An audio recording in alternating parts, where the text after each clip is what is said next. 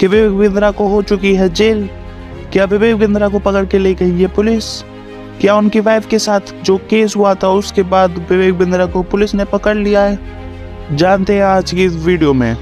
जैसा कि आप सभी को पता ही है कि विवेक बिंद्रा और संदीप माहेश्वरी की कितनी बड़ी कंट्रोवर्सी चल रही है। उनकी ये कंट्रोवर्सी चल ही रही थी कि इसके बाद उनकी दूसरी कंट्रोवर्सी सामने आई थी, जिसमें विवेक बिंद्रा की पत्नी ने उन पर मारपीट का आरोप लगाया था। और इसी के चलते उनकी वाइफ की कई सारी वीडियो भी सामने आई थी। लेकिन हाल ही में एक बात सामने आ रही है कि विवेक बिंद्रा को इसी चलते हो चुकी है, जेल और उन्हें पुलिस पकड़ के ले जा चुकी है। लेकिन हम आपको बता दें कि ये बात सरासर झूठ है। उनको अभी कोई जेल नहीं हुई है उनको पुलिस ने बिल्कुल नहीं पकड़ा है। लेकिन उनका संदीप माहेश्वरी के साथ कंट्रोवर्सी के बाद उनका केस कोर्ट में जा चुका है।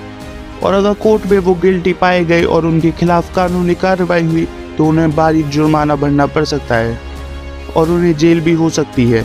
तो आपकी क्या राय है इस बारे में? इनमें से कौन सही है? संदीप माहेश्वरी या विवेक बिंद्रा। अपनी राय देने के लिए अभी इस चैनल को सब्सक्राइब कीजिए। Thanks for watching this video